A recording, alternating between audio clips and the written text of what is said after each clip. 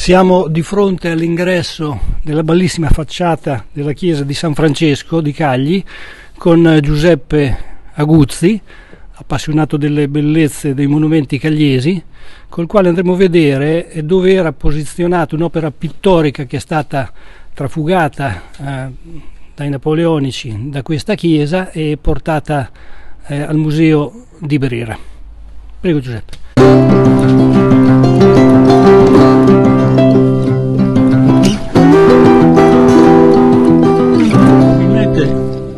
No, però, come, molto probabilmente questo bellissimo politico, conservato oggi a Brera, era posizionato sulla mensola più alta dell'altar maggiore, come tutte le opere d'arte importanti venivano posizionate.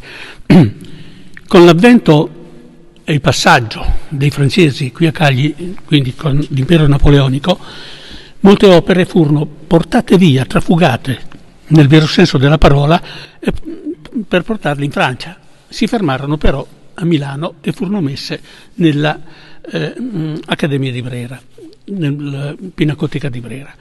Questo politico è molto interessante perché, perché innanzitutto in struttura lignea, lignea mh, tutta dorata, sono raffigurati molti santi, tra cui spicca alla destra del trono della Madonna proprio San Francesco, che è il titolare di questa chiesa. L'opera, grosso modo, di che dimensioni era? Non riesco a dirtelo bene come poteva essere in centimetri o in metri. Comunque considera che buona parte della mensola superiore dell'altare era presa da, questa, eh, da questo politico, il quale come altezza credo che sia sui due metri, quindi due metri e, cinque, due metri e venti, all'incirca così. Di preciso non so, non so dirtelo perché l'abbiamo visto a Cagli qualche anno fa, però è arrivato e ripartito. Quindi, ecco. Un altro quadro che è stato sottoposto e doveva essere portato via dai francesi è questo qui, questo con San Gaspare. Se si vede bene, da una parte c'è ancora il sigillo in ceralacca che era l'autorizzazione a portarlo via. Vedo che hai in mano una copia un po' sbadita eh, di una foto di, dell'opera, magari se ne hai una migliore poi possiamo anche vederla. C'è senz'altro migliore, questa è una stampa venuta un po' così, però ecco Mario vi farà vedere appunto la fotografia molto più bella del, dell'opera intera e quindi potrete gustarla nel vero senso della parola.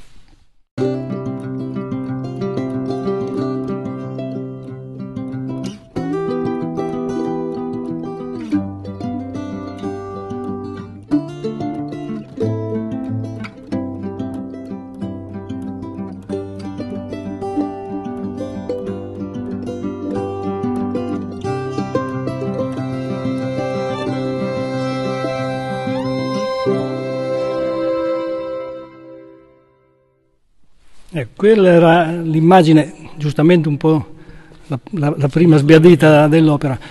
Però qui vicino, proprio qui vicino a Fabriano, all'eremo di Val di Sasso, un'opera simile, un politico simile, che è stato ugualmente trafugato, è stato poi eh, riprodotto, c'è una copia che, che, è bellissima, vederla sembra proprio un originale, ed è stata riposizionata nella chiesa dove era originariamente. Pensi che sia ipotizzabile una scelta del genere anche qui a San Francesco? Ma sarebbe bellissimo, però se uno fa una copia bisogna che mm, per fare una copia occorre il permesso della sovrintendenza, perché se no uno può essere eh, giudicato come falso, insomma, ecco, quindi ben, sarebbe bello, ma è bene avere tutti i documenti. Esatto, c'è un iter procedurale, mm, procedurale molto ben preciso.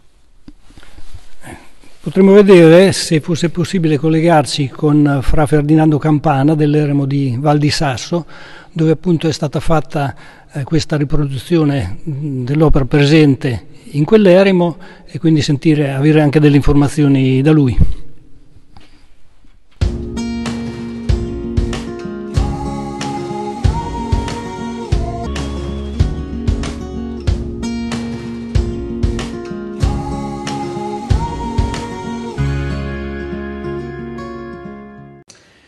Siamo nell'eremo di Santa Maria di Val di Sasso, di Valle Remita di Fabriano.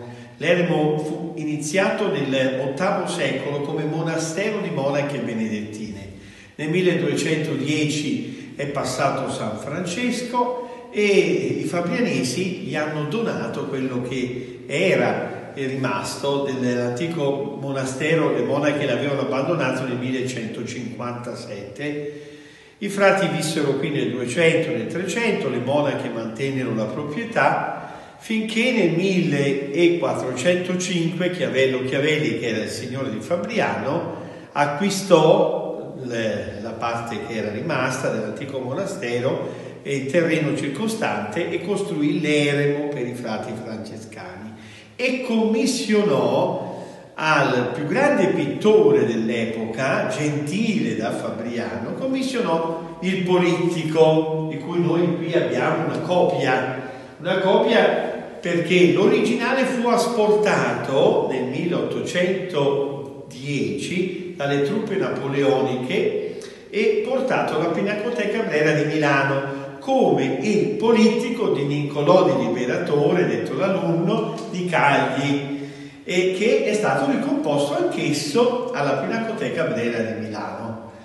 Il politico è stato fatto come copia nel 1981 da una monaca clarissa di Verona e raffigura l'incoronazione della Vergine Maria al centro con il padre, gli angeli serafini e cherubini e poi San Girolamo, San Francesco, San Domenico, Santa Maria Maddalena, le figure maggiori e quelli invece superiori San Giovanni Battista, San Piero da Verona, Sant'Antonio di Padova, San Francesco che riceve le stimate e in alto la crocifissione. Questo politico come quello di Cagli è stato fatto in copia perché la Pinacoteca Brera di Milano ha dato l'autorizzazione, quindi se anche eh, gli appassionati della storia di Cagli volessero riprodurre eh, questo politico, ci sono persone che lo possono molto bene realizzare. Cagli è per noi una città profondamente francescana. Eh, I frati minori giunsero a Cagli nel 1234, otto anni dopo la morte di San Francesco, e costruirono il primitivo convento francescano e la chiesa poi dedicata a San Francesco. L'attuale chiesa di San Francesco fu consacrata nel 1336 e come sapete eh, successivamente verso la fine del 300 furono fatti questo ciclo di meravigliosi affreschi da Mello da Gubbio e della scuola che recentemente sono stati riscoperti e la chiesa conteneva anche il politico quattrocentesco eh, del 1468 di Niccolò di Liberatore appunto detto l'alunno originario di Foligno. E poi Cagli ha avuto altri luoghi francescani molto molto importanti. Nel 1568 fu costruito il convento dei Cappuccini in un sito dove c'era precedentemente un monastero benedettino. Nel 1600 i frati costruirono un altro convento, quello di San, eh, eh, il convento dell'osservanza di Sant'Andrea, eh, che era un altro ramo dell'ordine francescano, quello attualmente Sant'Andrea, dove a Cagli c'è il ricovero.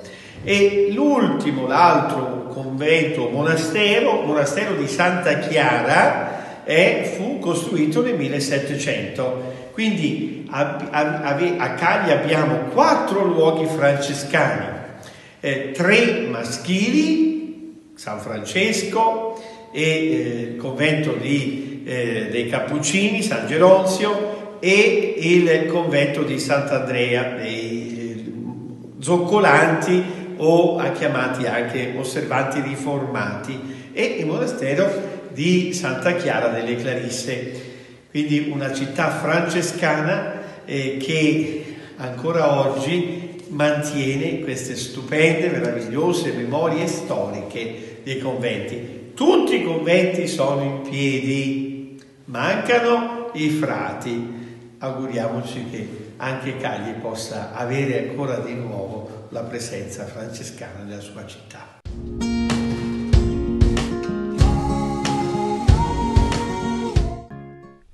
Abbiamo visto gli interni di questo bellissimo monastero eh, e tra l'altro dal periodo abbiamo avuto anche le delucidazioni interessanti. E poi magari bisognerà interessarsi anche per vedere se eh, l'ipotesi formulata è, è fattibile, i costi e tutto il resto, chiaramente le autorizzazioni. Però San Francesco è chiaramente una delle chiese, tra le tante belle chiese di Cagli, una delle più eh, importanti anche per certi versi. E quindi magari in qualche altra occasione eh, se sei disponibile potresti eh, delucidarci su uh, altri aspetti importanti di, di io, questo vero monumento. Io in questa chiesa ho imparato a camminare perché era la mia famiglia che, che aveva le chiavi, la gestiva, la curava come una seconda casa. Quindi per me è veramente un piacere poter parlare di questa chiesa. Benone, ringraziamo Giuseppe Aguzzi e lasciamo ai cagliesi eh, la, la, così, l'invito a, a, visitare più spesso eh, i bei monumenti della nostra città e sollecitare anche amici di fuori a, vederli, a vedere per godere delle bellezze che ci sono.